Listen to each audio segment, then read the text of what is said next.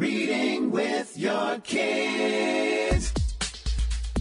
Hola, ni hao, konnichiwa, assalamu alaikum, shalom, jambo, bienvenidos. Hi, my name is Jedlie, and this is the Reading with Your Kids podcast, coming to you from the beautiful neighborhood of Readville in the southwest corner of Boston, Massachusetts. Thank you so very much for being part of our beautiful Reading with Your Kids family. Our guest today is our friend Leslea Wahl is coming back. She is the author of Where You Lead and a number of other great young adult titles. She's here to share with us some of her favorite suggestions for books about friendship. We also have a very special announcement. We have a brand new Reading with Your Kids certified great read. We're going to tell you all about that book towards the end of the show.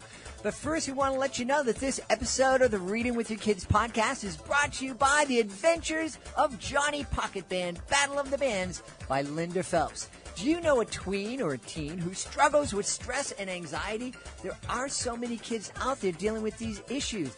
Well, if you answered yes, let me suggest a great book that could offer them some great strategies to help them deal with their issues. It's The Adventures of Johnny Pocket Band by Linda Phelps. Johnny and his brother Drummer Boy are excited to compete in the Battle of the Bands. They have two months to get the band prepared, but everybody is like so nervous. Johnny has promised himself that he will conquer his anxiety this year and start to have fun. And you know, with the help of his friends, he just might be able to do it. The story captures the emotions, fears, and excitement of the preteen years. It's a difficult time for everyone, but the story opens up a window of understanding as each kid shares their thoughts about fitting in, making friends, and the new and very unsettling feeling of being attracted to girls. This is a fantastic read for all families, but especially families who know somebody who is struggling with stress and anxiety. The Adventures of Johnny Pocket Band, The Battle of the Bands, is available on Amazon or by going to Linda's website, johnnypocket.net. The Adventures of Johnny Pocket Band, Battle of the Bands by Linda Phelps. This episode of the podcast is also brought to you by The Nature Club, a series of nature based books for middle grade readers by author and wildlife biologist Rachel Mazur. I love nature. I love the fact that me and Augie the Wonder Dog get to run around in our big backyard here in Readville, which is right across the street from Fowl Meadow, a beautiful wildlife sanctuary on the edge of Boston. You know, the Nature Club series is a great, great series that'll get your kids connected with nature. The Nature Club is made up of a diverse group of five friends. Now, each book in the series tells the story of one of the kids and how they approach a challenge of growing up. Now, these challenges include moving, parents divorcing, and health issues. Their stories each run in parallel with stories about wildlife and the challenges they face, including migration, metamorphosis, and foraging for seasonal foods. My, my dog Augie's foraging for chipmunks in the backyard all the time. Each book ends with the kids finding ways to take simple actions to help themselves and the wildlife they love. Readers learn about the natural history of birds, monarch butterflies, bears, raccoons, frogs, and bobcats. At the end of each book, there are discussion questions and a section on additional information about the featured animal. For more information, you can find the Nature Club on Facebook or on Instagram at The Nature Club Books, or you can go to their website, natureclubbooks.com. And last but not least, this episode of the podcast is also sponsored by Noah, Noasaurus by Elaine Kiely Kearns. I love this book. You know, if you listen to the podcast, that I love to have fun and I love to read books that are fun. And Noah Noasaurus is a fun, fun book. Do you know someone who is a Noasaurus? Is your child a Noasaurus? Does your child ever have one of those days where they wake up and their answer to everything is no? Well, have I got a picture book for you? Noah Noasaurus by Elaine Kiely Kearns. Noah Noasaurus woke up feeling very no. No to brushing his teeth, no to eating breakfast, and definitely no to playing with his little brother. Things only get worse when Noah goes for a walk and discovers that the relentlessly cheerful Toby Rex, Brian Brontosaurus, and Ava Ceratops are following him. Together, the group starts a bona fide dino parade that even Noah cannot resist. This light-hearted, whimsical tale will have readers laughing along at Noah and his friends, as well as their own bad moods. This hilarious book pairs two of little kids' favorite things, saying no and dinosaurs. Adults can also relate to waking up on the wrong side of the bed and feeling very no all day. And Noasaurus is available on Amazon and on Elaine's website, ElaineKielyKearns.com. As summer is winding down, we hope you had a fantastic summer. School is going to be starting, and our kids are going to be navigating friendships. And you know, uh, on one level, you think, well, friendships, kids, that that comes naturally to kids, but actually. It, it can be really tricky for kids. So we have our friend Leslea Wallace here to talk to us about some great books that we can sit down with our middle grade kids and our teenage high school kids that uh, talk about friendships and talk about values. Please welcome back to the show the author of Where You Lead, Leslea Wahl. Leslea, how are you? Oh, I'm doing great. Thanks for having me on. I think this is such an important topic, the idea of friendships, because – friendships, I, I don't think friendships have ever been easy. They're especially challenging in middle school and in high school. And um, and and it's the time of life where kids you know in third grade when Sally doesn't play with Susie Susie might come home and cry to her mom about that. But when that happens in middle school and high school uh, it kids aren't that quick to come home and talk to their folks about it yeah, and everybody wants friendships. I mean, mm-hmm. that's just a something that everybody's searching for, and it can be really hard, especially these uh, those ages. Mm-hmm. People can be kind of cruel and mean, and I've noticed also recent lately, maybe because of our social media, um, quantity mm-hmm. versus quality seems to be a thing. People want more friends and more likes and so forth, uh, but the if you have a good friendship, that's more important. And uh, sometimes that's learning how to be a good friend yourself. Mm-hmm.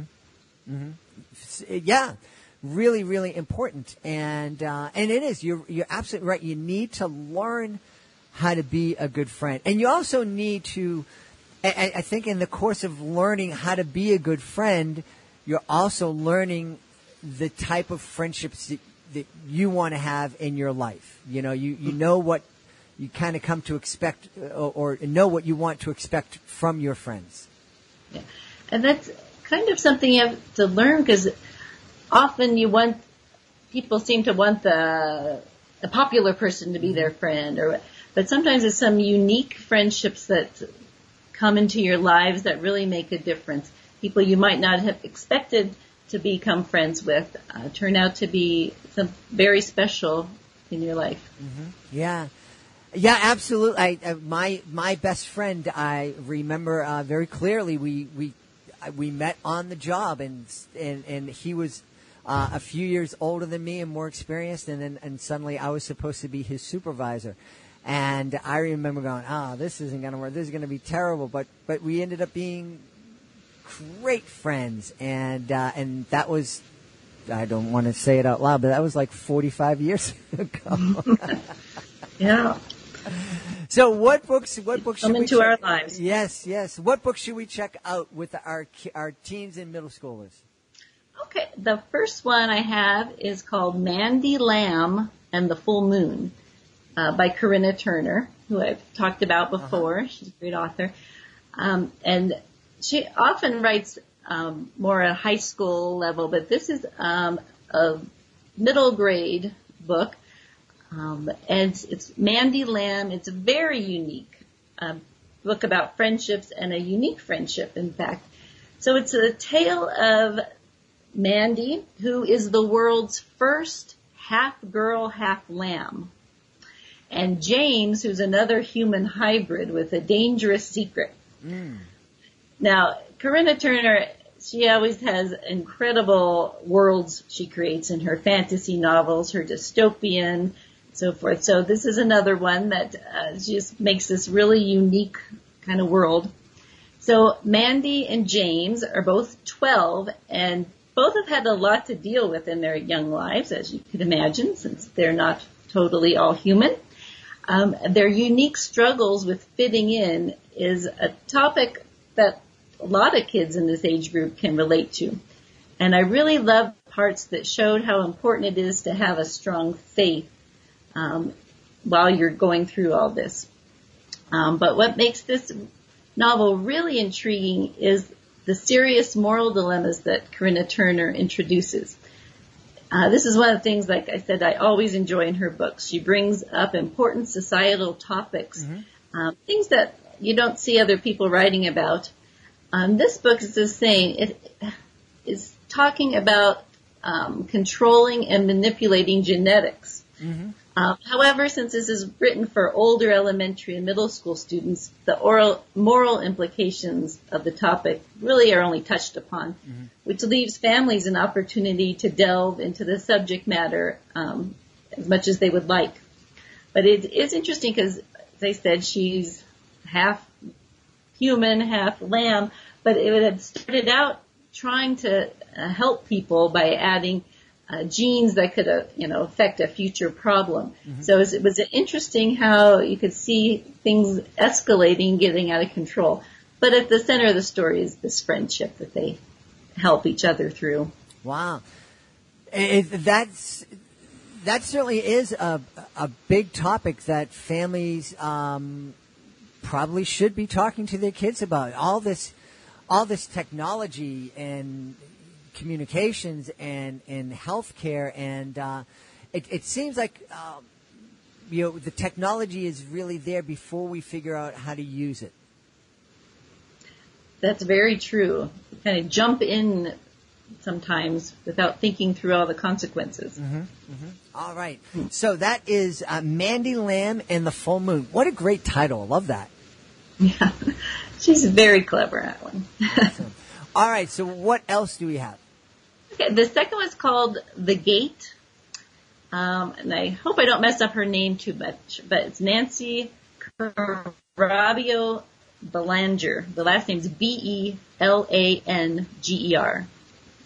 Um, so it's a YA novel, and it's written actually from the perspective of a grown-up Joshua as he looks back and remembers a life-changing time in his past when he was a kid. Mm. I was really enjoyed this book, and I just couldn't wait to see how the story played out. So it's a friendship on this one is between Josh, who is a snarky teenager, and an elderly gentleman that he re- reluctantly has to befriend, whose name is Pi. So as a school assignment, he has to go Joshua has to go and work at a retirement center and become friends with somebody. So the relationship between these two unlikely friends is really touching. Your heart goes out to both of them. Like I said, Josh is just a snarky teen and the smart aleck language is just absolutely brilliant. It's a fantastic character.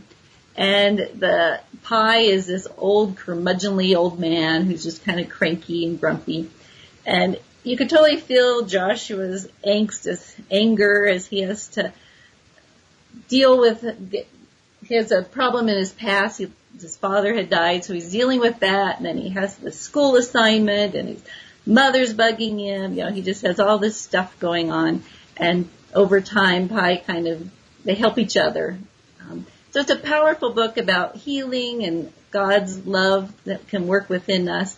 Uh, there's many great topics of discussion also, but uh, just a very special friendship.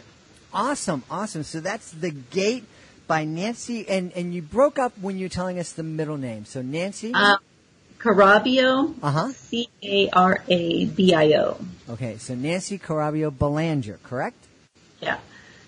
Awesome, awesome. Great book to check out and that's um, th- those relationships between the generations. I think they're really important, but they also are very difficult to navigate for kids. Mm-hmm. Yes, and but you, I think you can learn so much through um, the different generations, especially for kids to see you know these older people that they see actually have some interesting backgrounds and histories, mm-hmm. and they can learn from them. Absolutely. Okay, so what's the third book that we're going to check out? And the third one is Sunflowers in a Hurricane by Anne M. Faye. F-A-Y-E. And this is another multi-generational um, story. and it's actually told from three different characters. George is this elderly neighbor who's grieving the wife that had passed away a few years ago. And then there's Cheryl, who's a single mom, um, and she returns home with her daughter to her hometown. She had fled years ago amidst scandal and trauma, uh, but she has to come home. And then her daughter is Ruth, who's a middle school age girl, and who's she's trying to understand her mother's anger and her overprotectiveness, as well as what happened in her background. Uh, so the circumstances kind of meld these three characters and their lives together as they're all kind of dealing with their family and personal issues. And it's mostly told from the young teens perspective, mm-hmm. which will of course connect with all the younger readers. But I, th- like I said before, I think it's wonderful for them to understand the inner thoughts and personal feelings of the older gentleman mm-hmm. and the mom as well. Mm-hmm. Because kids might not understand that the parents also have things going on in their past and in their lives. So it's kind of it's neat to see how their struggles they could help each other through them. Yeah. You know, one of the things I notice is that here in in the states, it's it it seems like the, the separation between the generations is much more pronounced. Uh, when, when I tour, and I haven't toured all over the world, but when I tour Puerto Rico, um, and when I toured Panama, in those cultures, it was very common to see older people at a concert with young people and, you know, different generations doing more things together. And here we seem to be very segmented. This is just for young people. This is just for older people. And, uh, and I think that that's, I, I, I don't like that. I just, I just think it's, I, I don't think it's healthy for anyone. I think, uh, it's important for, for, you know, people my age, you know, approach, approaching 100 to have relationships with young people and, and vice versa. Yeah, keeps us all connected and to realize you have something in common with each other is a great thing. I like to explore that those kind of relationships in all my books too. Yeah. The older and younger generations. Well, speaking of your book, I'm I'm wondering uh, where you lead is is that a book that that talks about friendships? Uh, yeah, and that one has several different kinds. There's a friendship between the two main teenage characters, um, Eve and Nick, and they have a, as all my books do, a mystery that they're on. But um, both of them also feel called to um, create a relationship and a friendship with different people. Um, Nick is with another teen who's struggling, uh, but Eve is her neighbor, an elderly neighbor that um, is, you know, shut in kind of in her apartment and struggles with um, wanting to, I don't know, be with people, and and so Eve kind of helps her, and they have develop an interesting friendship there. Like I said, it's always one that I enjoy because you learn things from each other. You know, Eve learns from this older woman, and this woman learns from her too. So it's really, it's, I think it's a great way to tell the story. That's wonderful. And one of the ways that we can learn, and I'm sure one of the ways that that uh, that Leslea has learned, is being part of CatholicTeenAuthors.com. Did I say that right? Oh, CatholicTeenBooks.com. Yes. And actually, personally, the friendships from those other authors has really helped me grow in my writing and in my faith. It's just amazing. Like we were talking about, friendships can become in the most unexpected places. And it's amazing how you can just find kindred spirits sometimes um, and grow in different ways that you wouldn't expect. Absolutely. Well, I am really thankful that we, that Leslea and I have become friends over the last year or so, and she's become a regular part of the Reading with Your Kids podcast, and we're so happy about that. So definitely check out CatholicTeenBooks.com, and also make sure you check out Leslea's books, uh, not only Where You Lead, uh, but also Unexpected Role and The Perfect Blind Side. And uh, am I right? You're working on a sequel to The Perfect Blind Side? Uh, yes, working on it right now. It's in the final edits, so hopefully it will be out in a few months. That's awesome. Well, we will have you back to tell us all about that. Great. Thank you so much. We've been talking to Leslea Wahl today about some great books our teens can read with us about friendships. Leslea, thanks so much for being on the show. Thank you for having me. Talk to you later. Please be sure to join us for the next edition of the Reading with Your Kids podcast. Our guest will be PJ McElvain. She'll be here to tell us all about her beautiful book, Little Lena and the Big Table. Speaking of beautiful books, we are celebrating our latest Reading with Your Kids certified great read. It is Being Small is Not So Bad After All by Lori Orlinsky. You know, being short, being tall, let's face it, we all have trouble with our height. We're all somewhat different, but some kids can be mean and know how to trigger those pain points. Being Small Isn't So Bad After All is a perfect book that will help vertically challenge kids to understand that being smaller than others has its, own advantages. Being Small Isn't So Bad After All by Lori Orlinsky is a children's rhyming picture book for children ages 3 to 7 years old. This wonderful book tells the story of a girl who was sidelined by her lack of height. Her friends make call her all sorts of names such as Munchkin, Shorty, and Peanut. And, and being the shortest kid in her class makes her upset. Mom comforts the little girl but while explaining to her that being short doesn't have to be a disadvantage and presents her with some great and hilarious advantages that only small people can have because of their height. I love this book because I am vertically challenged and always have been. And it really is, a, it's a, it's a fun book. Hats off to Lori Orlinsky, the latest Reading with Your Kids certified great read. Before we go, we want to thank the people who made today's show so very wonderful. We want to thank our friend Leslea Wahl. Be sure to check out her great book, The Perfect Blind Side, and also Where You Lead. We also want to thank our sponsors, Elaine, Kiely Kearns. Check out Noah Noasaurus. You will be laughing, laughing, laughing with this great, great children's book. We also want to thank Rachel Mazur, wildlifeologist and author of The Nature Club, a great series of nature-based books for middle grade readers.